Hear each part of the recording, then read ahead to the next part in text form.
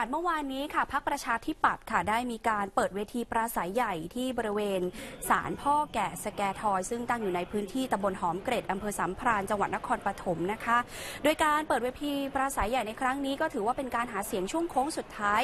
ในการเลือกตั้งซ่อมสสนครปฐมเขต 5 ค่ะ ทั้งนี้ในส่วนของพรรคประชาธิปัตย์ส่งนายสุรชัย อนุทโต ลงสมัครรับเลือกตั้งซ่อมในครั้งนี้นะคะ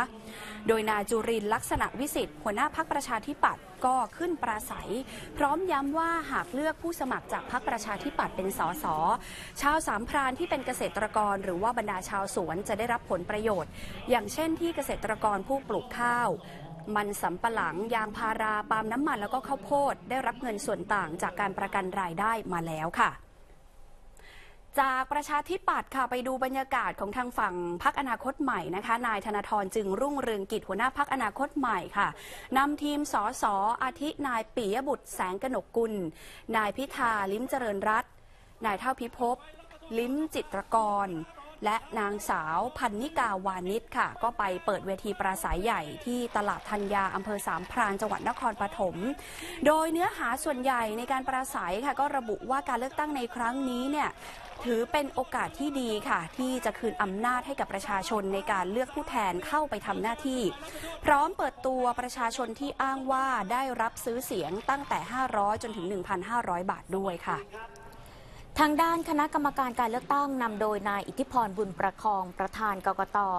เป็นประธานเปิดโครงการรณรงค์เผยแพร่ประชาสัมพันธ์ การเลือกตั้งสมาชิกสภาผู้แทนราษฎรจังหวัดนครปฐมเขตเลือกตั้งที่ 5 นำทีมหัวหน้าส่วนราชการจังหวัดนครปฐมและอำเภอสามพราน ผู้นำท้องถิ่น ศูนย์ส่งเสริมพัฒนาประชาธิปไตย อาสาสมัครประจำหมู่บ้าน และประชาชนในพื้นที่ ร่วมเดินรณรงค์ในชุมชน รอบที่ว่าการอำเภอสามพราน เพื่อไปเชิญชวนให้พี่น้องประชาชนในพื้นที่เขตเลือกตั้งที่ 5 ยกเว้นตำบลตลาดจินตำบลคลองจินดา และตำบลบางช้าง ไปใช้สิทธิ์เลือกตั้งกันในวันพุธที่ 23 ตุลาคมนี้ไปใช้สิทธิ์กันเยอะๆนะคะ โดยกกตก็คาดหวังว่าจะมีผู้ออกมาใช้สิทธิ์มากขึ้น จากเดิมที่มีผู้ใช้สิทธิ์ร้อยละ 76.13 ค่ะ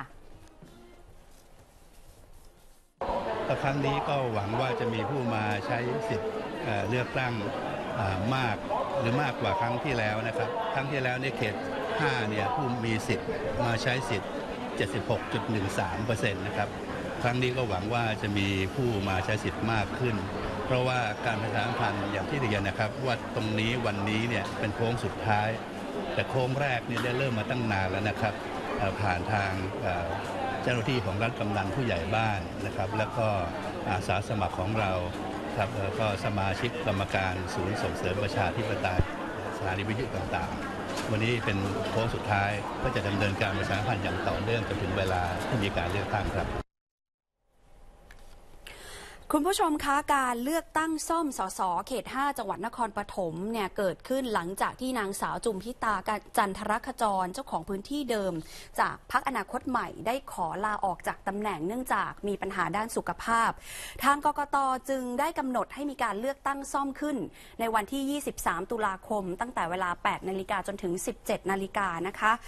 สำหรับผู้ที่ลงสมัครรับเลือกตั้งสมาชิกสภาผู้แทนราษฎรจังหวัดนครปฐมเขตเลือกตั้งที่ 5แทนตำแหน่งที่ว่าง มีผู้สมัครรับเลือกตั้งรวมจำนวนทั้งสิ้น 7 คนดังนี้ค่ะ หมายเลขหนึ่งก็คือนายพเดิมชัยสะสมทรัพย์ จากพักชาติไทยพัฒนาหมายเลขสองนางสาวสิริขวัญแย้มมูล จากพักพลังสังคม หมายเลขสามนายสุรชัยอนุทโต จากพักประชาธิปัตย์ค่ะ หมายเลข 4 นางลาวันสิงสถิตจากพักเสรีรวมไทย หมายเลข 5 นางสาวปริมปรางแสงสว่างจากพักไทยศรีวิไลหมายเลข 6 นายภัยรัชภัยรัฐโชตจันทรคจรจากพักอนาคตใหม่ แล้วก็หมายเลข 7 นะคะ นายเพชรจันดาจากพักเพื่อชีวิตใหม่ค่ะ